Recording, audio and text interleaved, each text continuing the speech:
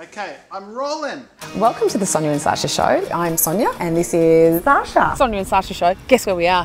Look at this, right in the middle of a football field. Who would have thought that we'd be doing this, Sash? Never in a million years. Sacha and Sonya, Sonya and Sacha. Oh, ah, yes. Yes. Doing. Welcome to the Sonya and Sacha show. So what do you want to tell them? Well, if you're a parent, if you're a step parent, Yeah. if you have children, if you have babies, if you have teens, if you have tweens, we're talking about all the stuff that it takes to be a parent or a step parent or a grandparent. It's all just about us as mums trying to do our absolute very best. And it's okay to not be perfect in every sense of the word when it comes to raising our children.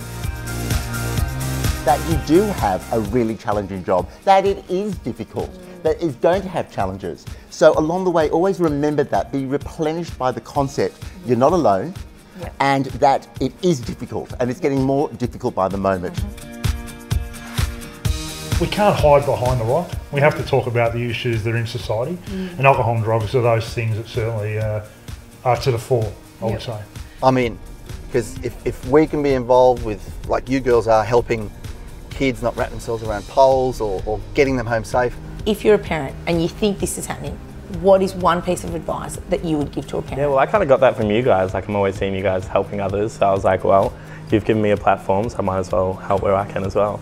If we don't, as parents, talk about this all the time, All the time. have conversation. This is a dinner conversation or a car conversation. Another one of those ones where Another one can't get out of the car, car, so yeah, let's have a chat about it. conversation with them. And bringing up these kinds of stories. because it's all about communication. When you're very clear about setting your expectations with your kids, I think most children don't like to disappoint their parents, do they? And you're the parent, so you need to make the rules. So they may not like it. They may say that you're a terrible parent for actually doing this, but you're really only doing it to keep them safe.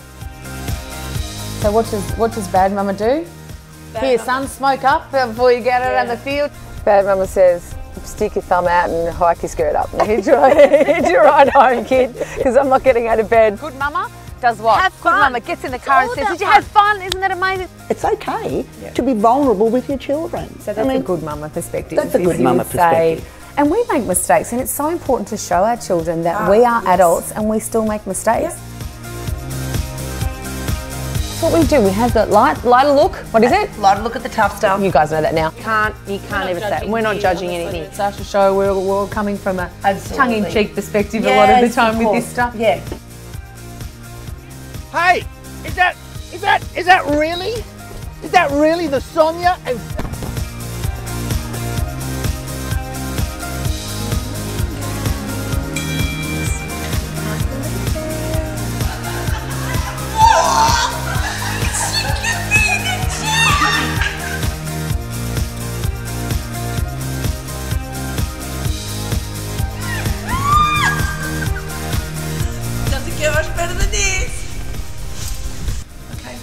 Take care of you. Take care of you. Take care of you. Take care of you. You're a good mama. You're a good mother, darling. All right, we'll see you after the.